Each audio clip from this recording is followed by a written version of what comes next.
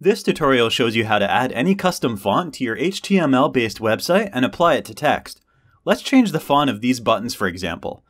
In order to apply a custom font to your site's text, you should perform the following.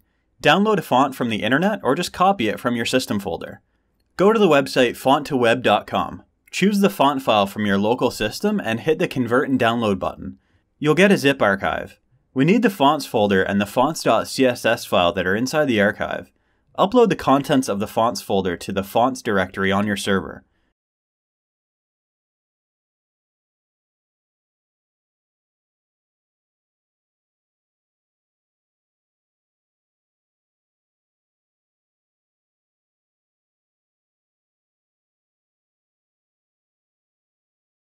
Open up the fonts.css file, change the font family attribute to coincide with the names of the files.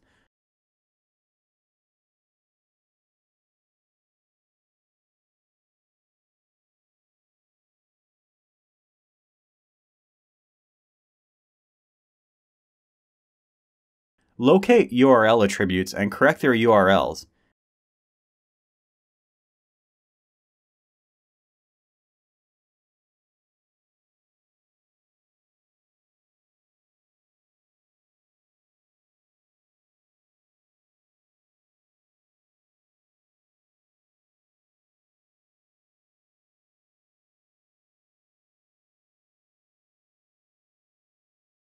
Copy the style rule.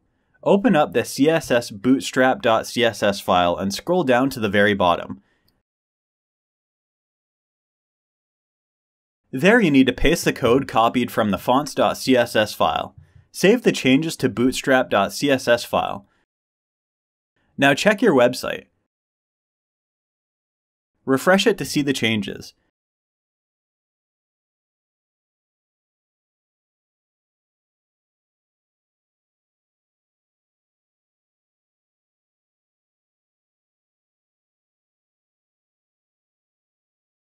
Now you can apply the new font to any element by specifying the font family attribute.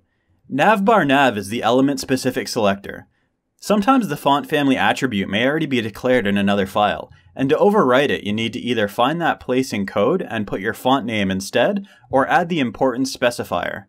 Copy the rule declaration. You should add the following code to the very bottom of the file, cssbootstrap.css,